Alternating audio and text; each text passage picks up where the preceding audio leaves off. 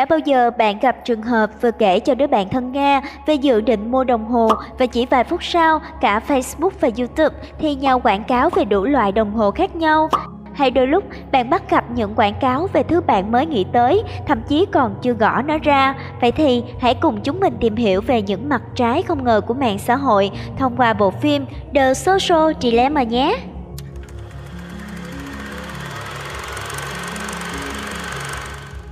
The Social Dilemma là một bộ phim tài liệu chính kịch của Mỹ do Jeff Falowski đạo diễn và Orlowski David Cohn Vicky Curtis viết kịch bản, bộ phim tài liệu được thực hiện để cố gắng giải thích cơ chế gây nghiện của mạng xã hội và những rủi ro mà người dùng có thể gặp phải. Mạng xã hội gây nghiện đó là điều mà hầu hết người dùng Facebook, TikTok hay YouTube đều ý thức được. Nhưng để hiểu bằng cách nào những bộ óc công nghệ có thể khiến con người miệt mài dành hàng tiếng đồng hồ để lướt bản tin, xem video chó mèo không biết chán, thì The Social Dilemma, tạm dịch là sông đề xã hội, sẽ diễn giải tường tận cơ chế thao túng người dùng. The main plot trong thời đại 4.0 hiện nay, nơi công nghệ làm chủ, thì vấn đề về bảo mật thông tin là một trong những chủ đề làm xôn xao khi hay tin có ứng dụng nào đấy đang cố tình đánh cắp dữ liệu người dùng. Nhưng cụ thể đó là gì? Liệu có phải vài ba cái thông tin như tên tuổi, email và mật khẩu mà bạn đã đăng nhập ở đủ thể loại web? Nếu bạn chỉ nghĩ đơn giản như vậy thì xin chúc mừng, bạn có thể đang bị chính công nghệ thông tin thao túng mình mất rồi. The Social Dilemma đi sâu về khai thác nhiều khía cạnh, bắt đầu bởi chứng nghiện smartphone, nghiện mạng xã hội của phần lớn giới trẻ hiện nay đang gặp phải. Bạn sẽ phải giật mình khi nhìn thấy chính mình hiện lên ở vài ba khung hình trong phim với tay cầm điện thoại, mắt dán vào màn hình và chỉ chịu rời cái thiết bị thân yêu ấy khi đi ngủ. Chúng ta bắt gặp những người gắn niềm vui vào mạng ảo, selfie với đủ thể loại app làm đẹp, dành thời gian điểm like và mỉm cười với những lời bình luận có cánh. Tất nhiên, điều này không xấu, nó chỉ hại khi bạn không tự làm chủ được mức độ tác động nơi thế giới của các anh hùng bàn phím. Bạn có nghĩ rằng mình cũng đang nghiện mạng xã hội? Mạng xã hội thực tế có thể gây nghiện đấy, hầu hết chúng ta đều ý thức được điều đó. Nếu không tin, bạn hãy thử cai Facebook trong 24 giờ xem sẽ khá là khó chỉ vì sau khoảng 4 tiếng là bạn sẽ không cưỡng lại được việc với tay lấy cái điện thoại chạm vào logo chữ F trên nền xanh để biết bạn bè có đăng ảnh gì không, có ai bình luận về những điều mình mới đăng lên không. Đó là một cơ chế gây nghiện đánh vào những phản ứng bản năng của não bộ được các nhà lập trình tính toán kỹ càng để thao túng bạn.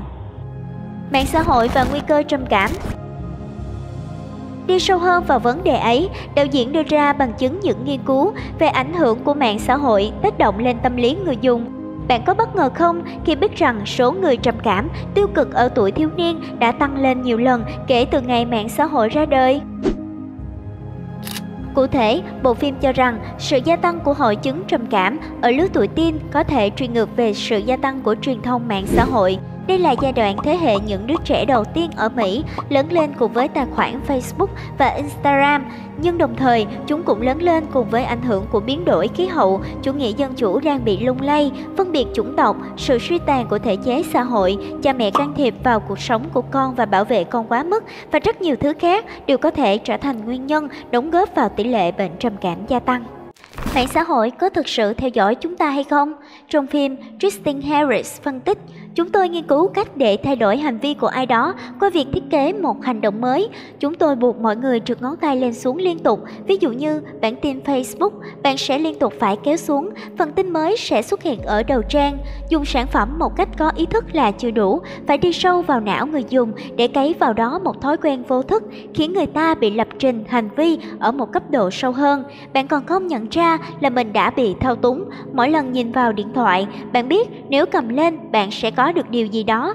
Ví dụ như khi có thông báo ta được gắn thẻ trong ảnh của ai đó, bạn sẽ muốn mở ra để biết tấm ảnh đó là như thế nào. The Social Dilemma hướng chúng ta đến một khía cạnh mà đa phần mọi người còn mơ hồ, đó là việc sử dụng trí tuệ nhân tạo AI trong các trang mạng xã hội. Đây là điều khiến mình đi từ hết bất ngờ này đến bất ngờ khác.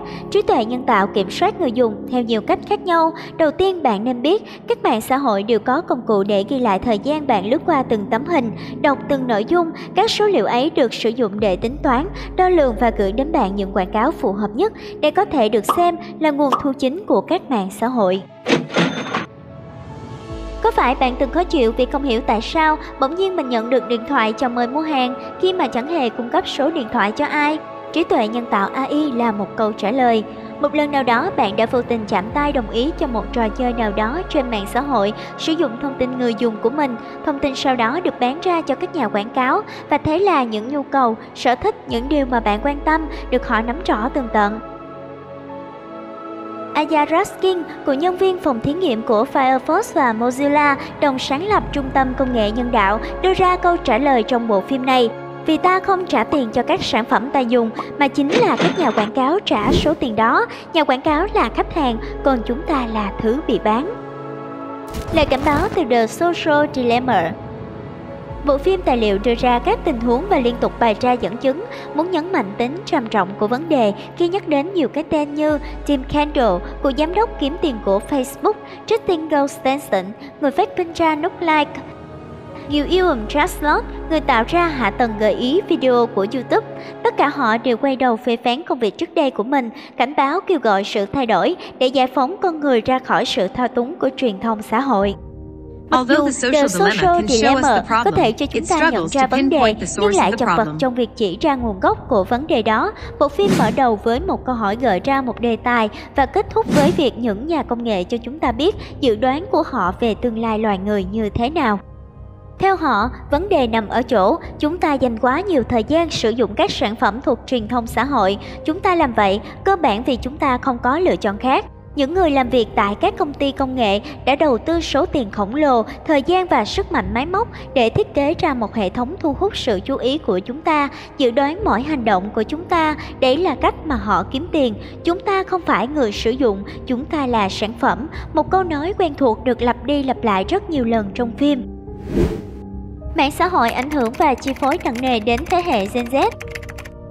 Các nhà nghiên cứu và các phương tiện truyền thông phổ biến xem khoảng thời gian từ giữa đến cuối thập niên 1990 là những năm sinh bắt đầu và những năm đầu thập niên 2010 là những năm sinh kết thúc. Hầu hết các thành viên thuộc thế hệ Z đều sử dụng công nghệ kỹ thuật từ nhỏ và cảm thấy thoải mái với Internet và các phương tiện truyền thông xã hội, nhưng không nhất thiết phải có trình độ kỹ thuật số.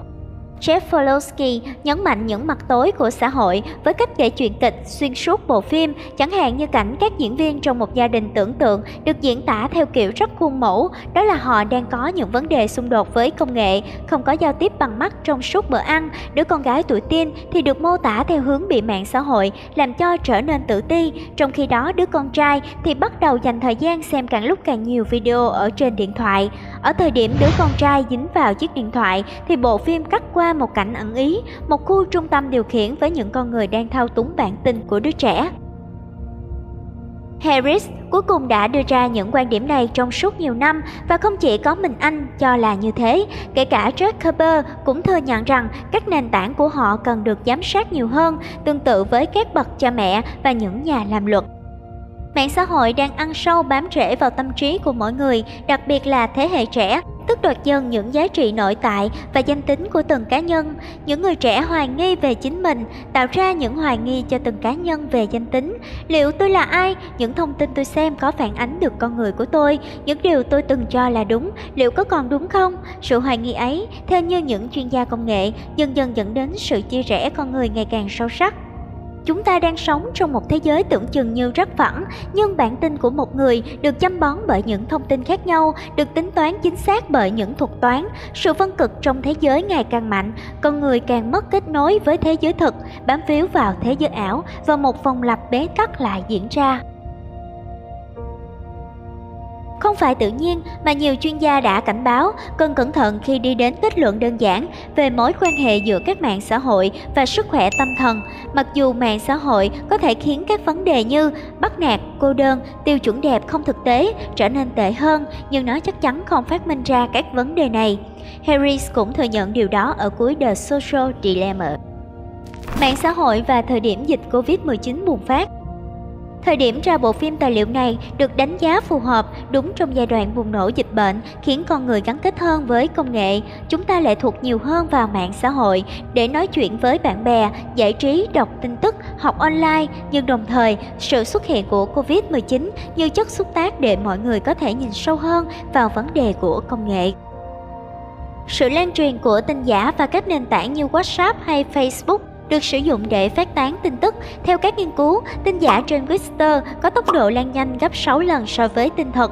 Facebook hay các thuật toán không có khả năng phân biệt tin giả hay tin thật nếu chúng ta có một khái niệm tương đối về sự thật. Các thuật toán chỉ biết đâu là tin tức được nhiều người đọc và có khả năng lan truyền nhanh cũng như thói quen của người dùng như thế nào.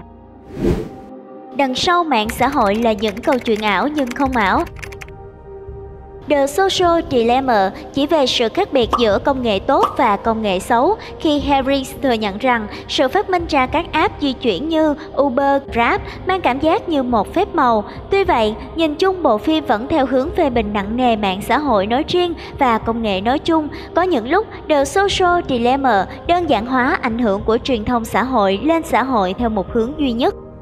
Bản thân mạng xã hội không phải là mối đe dọa diệt vong với nhân loại. Thực chất, mối đe dọa nằm ở việc mạng xã hội phơi bày và khuếch đại những đặc tính xấu xí của chúng ta. Chiến tranh của con người không phải là với Big Tech, tên gọi chung các nhóm tập đoàn công nghệ có ảnh hưởng nhất đối với nền công nghiệp thông tin ở Mỹ là Amazon, Apple, Alphabet, Facebook và Microsoft.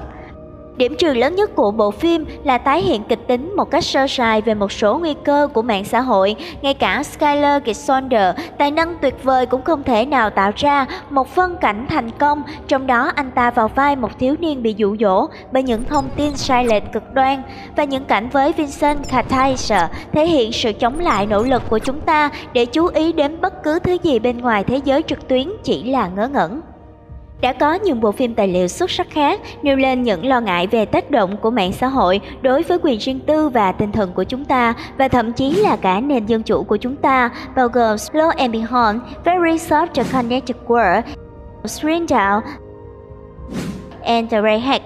Nhưng bộ phim tài liệu này lại có một lợi thế đáng kể, trong khi tất cả các bộ phim đều có các chuyên gia ấn tượng để giải thích cách chúng ta đến đặt chân và khám phá những điều bí ẩn đằng sau. Trong bộ phim này, nhiều chuyên gia cũng chính là những người đã đưa chúng tôi đến giờ các giám đốc điều hành từ Facebook, Instagram, Twitter, Pinterest và các trang web khác dụ dỗ chúng ta dành thời gian và chia sẻ thông tin để họ có thể bán được cả hai. The Social Dilemma có thể mang tính học thuật nặng nề do là một bộ phim tài liệu thuần được tổng hợp từ nhiều nghiên cứu đến từ hàng loạt chuyên gia. Thế nhưng đây lại là một tiếng 33 phút đầy thấm thía mà bất kỳ người trẻ nào cũng nên xem ít nhất một lần. Mạng xã hội là con dao hai lưỡi, câu nói được lưu truyền suốt nhiều năm, giờ đây lại hiện hữu rõ ràng và đáng sợ hơn hết. Trong đó, chúng ta có lẽ vào một thời điểm nào đó sẽ phải đưa ra lựa chọn tái sinh hay khai tử đối với sản phẩm công nghệ mà chúng ta ta đã tạo ra từ nhiều thập niên về trước. Dù trình bày một vấn đề rất cũ, nhưng The Social Dilemma đã gây ấn tượng bằng cảm giác khiến ta phải rùng mình. Lâu nay, chúng ta biết mình bị thao túng và cố lờ đi để tận hưởng tiện ích mạng xã hội mang lại, còn bộ phim lại phơi bày hết nỗi sợ và nguy cơ khiến chúng ta không thể nào ngoảnh mặt, bịt tai. Bạn sẽ làm gì với các tài khoản mạng xã hội của mình sau khi xem xong bộ phim này? Sau đây là vài trích nhận ấn tượng trong bộ phim sau khi xem xong, ắt hẳn sẽ khiến bạn không thể nào quên. If you are not a fan for the product, then you are the product. Tạm dịch là nếu bạn không trả tiền cho sản phẩm thì bạn chính là sản phẩm. Social media is a marketplace that traces closely in human futures. Tạm dịch là mạng xã hội là một thị trường giao dịch độc quyền về tương lai của con người.